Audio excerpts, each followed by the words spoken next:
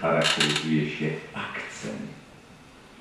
Jest on w polszczyźnie wydechowy, ekspiratoryczny, stały, z reguły padający na sylabę przedostatnią, paroksytoniczny, paroksytonos po grecku, przedostatni.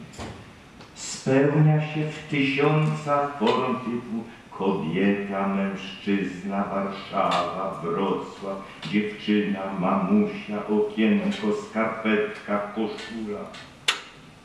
To powiedzmy, że od swobodnego i ruchomego akcentu z czasów prasłowiańskich, zachowanego na przykład w języku rosyjskim, doszliśmy do paroksytonu przez etap akcentu inicjalnego, przy którym pozostały języki czeski i słowacki. Ów żywy oddźwięk społeczny wywołują coraz powszechniejsze nawyki podciągania pod akcent paroksytoniczny tradycyjnych wyjątków, którymi są na przykład wyrazy grecko-łacińskiej proweniencji z wygłosowym ikapek.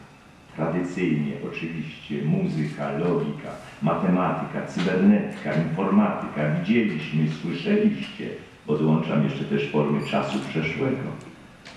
Coraz więcej osób, nawet z najwyższej intelektualnej półki, ma ochotę powiedzieć muzyka, logika, matematyka, cybernetyka, informatyka, widzieliśmy, słyszeliście.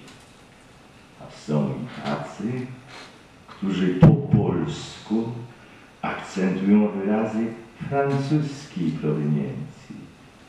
Expose, zamiast oczywiście tradycyjnie expose, jury, zamiast tradycyjne jury, tournée, zamiast oczywiście tournée.